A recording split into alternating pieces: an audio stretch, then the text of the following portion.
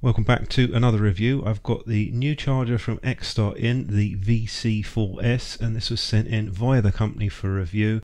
Now this is an interesting model because they've updated quite a few things on this charger.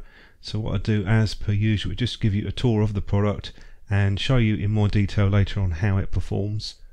The design of the charger is almost identical to the VC4, which was released quite a few years ago now, but you do have two buttons instead of one on the LCD display. The slot length is exactly the same as the VC4. Can only fit the unprotected 20 and 21700 cells in this charger because they haven't made it longer like some of the newer ones that have come out. Instead of the barrel connector we've now got a micro USB port and it also supports quick charge 3 and that means that I'll show you on the back here that you will have higher voltages which means you'll have faster charging speeds and they're listed out on the back. So a maximum of 3 amp in a single slot or uh, 4 amps overall if you're using the quick charger and that drops down to 2 amps overall like the VC4 if you're down to the normal 5 volt. So you have a choice with that and it's good to see that you have that quicker charge option. But as we'll come on to a bit later on there are some drawbacks to that Supplied cable is 80 centimeters in length with a red plug on it. Unlike the blue ones I've looked at from Xtar before, not all micro USB cables support that quick charge. Powering up the charger now just to show you I do have it connected to the quick charge and that is why you're going to see the 9 volts come up. Otherwise a normal USB connection will give you your 5 volts and that's how we get the additional charging speed is with that extra voltage on the quick charge exactly the same way as you do with a phone, faster charging speeds. Display has changed a bit since the VC4 we've now got the fuel gauges on all of the channels instead of the two larger ones. And you still have the backlight which can be turned off and auto dims. And you've still got the charging indicators red and green so you can see the battery status even if it's turned off. Giving you a close-up shot. Now the only problem I have with this is that it's quite hard to see the numbers on the dials. And I personally don't particularly like the display because of that it was a lot easier to see on the VC4 as I've inserted a couple of batteries, we've got the red for charging and you can see the dials move up giving you an indication of the voltage and now it's counting the milliamp hour that it puts into the battery so that gives you an idea of the capacity if the battery is fully discharged. The dials do change depending on the lithium or nickel metal hydride, obviously different voltages. Once you hit the left hand button you can go through from the how much it's charged into the batteries into the current charging current in real time and it has an internal resistance test as well. If you just insert the cells it usually takes about 20 seconds to come up with that because it has to apply some current. This charger is fully automatic and it's using that internal resistance measurement to determine how much to put into the batteries and I'll come on to that in more detail when I test out more batteries later on if you press the right hand button, you cycle through from your standard mode, then you go into what they call grading mode. I don't know what that does. I've asked Xtar, they didn't get back to me.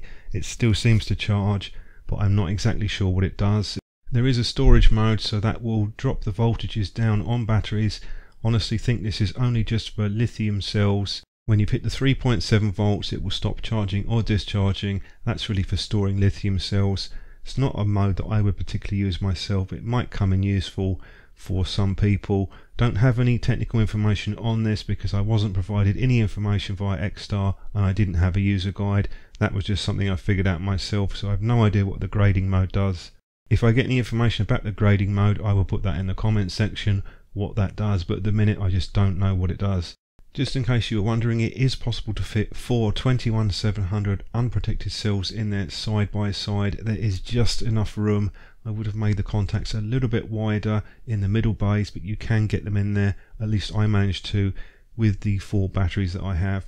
So if you're a vapor or something like that it can take the four at one time.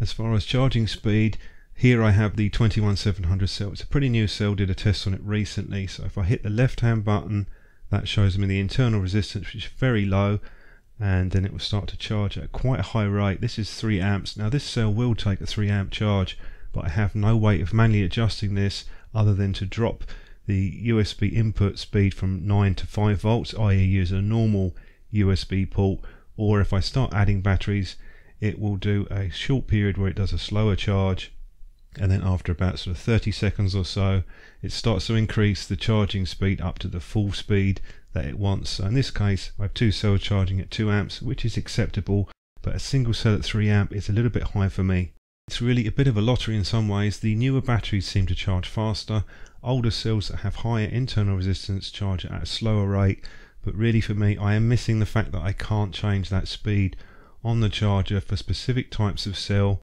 that to me is a fairly significant drawback and I'll come on to that a bit later on. Just to show you the space here with the 21700s, not that much really. I would have made the slots a bit longer. I'm puzzled why Xtar didn't make it long enough so it accepts the protected cells as well because they are becoming more common and more popular over time. Reverse polarity protection is something we see on most chargers and this has it as well so you'll just see the error message come up on the screen if you put a cell end the wrong way around.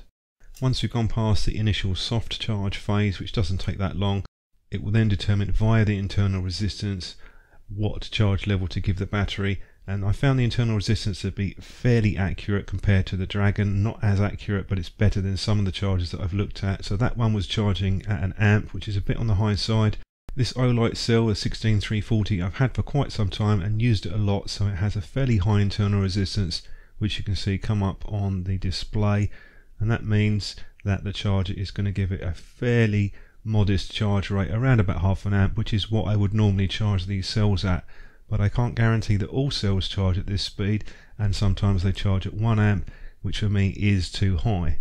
And it's the same procedure for nickel metal hydride. You just have the flashing display there for a couple of minutes with a soft charge and then it goes to its full charge rate. These are older cells again so they've slightly higher internal resistance so it decides to pick a charge speed of around about half an amp which is fine for these types of cells AA if I put an Eneloop in in good condition this is quite a new cell it wants to charge it at 2 amps and that is just way too high for an AA cell I would never charge a cell at that speed I'm putting a fairly new Sony AAA battery into the charger and because it's got fairly low internal resistance it decided again it wants to put 2 amps into that. That is just not an acceptable charge rate for AA's and it's definitely not an acceptable rate for AAA batteries and I've found this consistently with new cells it's charging them at a very high charge rate and I've seen it many times across different tests that I've done.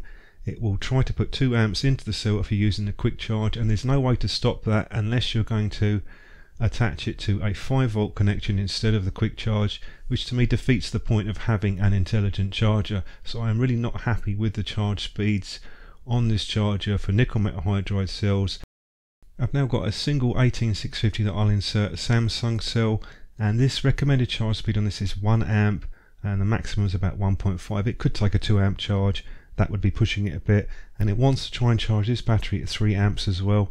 And that is really again a big problem for me because these types of cells that will reduce the lifespan of them considerably by charging them at such a high rate if you're vaping with those types of drain cells then that may be okay for you but really you need to have a choice that's way above the recommended charging speed for that battery and it's just going to wear the battery out much quicker so I'm really not happy about the charger in that regard as far as the termination on the charger goes, I didn't see any problems. It was terminating the cells fine, including the lithium and the nickel metal hydride.